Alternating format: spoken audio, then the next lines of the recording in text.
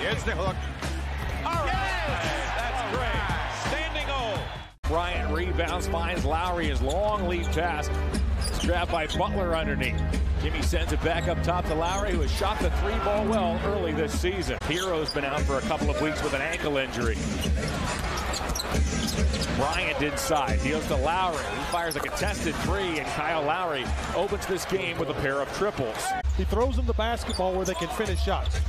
Allen had a big game on both ends last night. He scored 26 points and grabbed 13 rebounds. There's another wide open look at a three. This time Butler cans it for this Miami team in their uh, run to the finals just a season ago. Highsmith hands off to Lowry. Lowry uncorks another three, and he has three threes now. First quarter.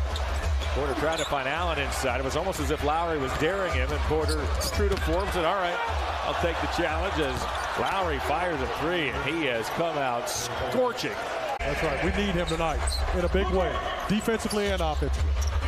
Butler cruises baseline. Does Lowry have another? My goodness. You know, the, the cornerstone organization is basically the Miami Heat with Pat Riley and Erik Spoelstra, so he learned some great work habits. Lowry with a floater. Kyle Lowry, Bryant in the corner, flips to Lowry. All the way back, he goes to Robinson. Robinson had six threes in his last outing, and he hits from long range. Those are his first points of the night. Taken only 13 threes. They've hit seven. This man, by his lonesome, has hit six.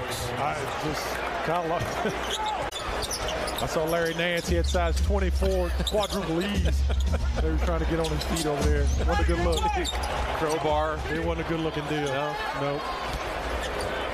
Heard a lot of the players talking about, you know, looking for the opportunity to play and you know, these guys want to win and get to that, get an in-season championship. A win is a win, you know. But Amani can can develop into that body and get stronger, faster. Got some great great skill set.